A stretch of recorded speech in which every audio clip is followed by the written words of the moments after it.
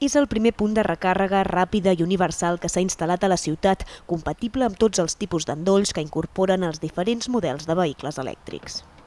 Carga rápida quiere decir unos 20 minutos, en unos 20 minutos cargamos el 80% de, de las baterías del vehículo.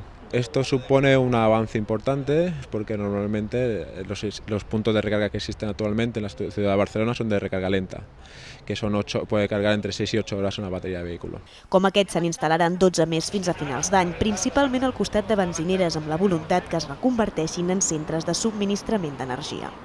Per potenciar la mobilitat sostenible, ara per ara Barcelona compta amb una xarxa de 262 punts de recàrrega d'ús públic.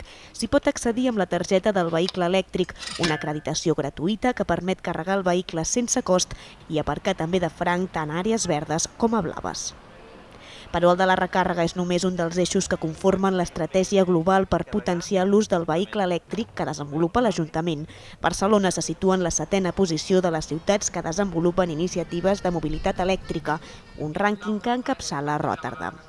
El vehicle elèctric és un, una peça important que complementa el model energètic de la ciutat amb una nova forma de mobilitat que evita el consum d'energia fòssils directament a la ciutat, per tant redueix la contaminació atmosfèrica, redueix la contaminació acústica i a més juga un paper energètic molt important que és aprofitar les energies durant la nit, que és quan tenim més energia residual. Aquest model demana un canvi d'hàbits en l'usuari perquè s'acostumi a carregar el vehicle durant la nit una forma d'avançar cap a l'autosuficiència energètica que també es desenvolupa en la flota de vehicles públics. Un 30% dels vehicles de neteja són elèctrics.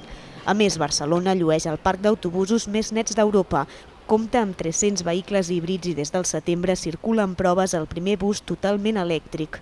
I el mateix passa amb els taxis. Un 16% dels més de 10.000 que circulen per Barcelona són híbrids i a partir del juny s'incorporaran els primers taxis elèctrics fabricats a Barcelona a la planta que Nissan té a la zona franca, així com un model de la xinesa BID, el mateix fabricant de l'autobús elèctric i que ja té homologat els primers vehicles.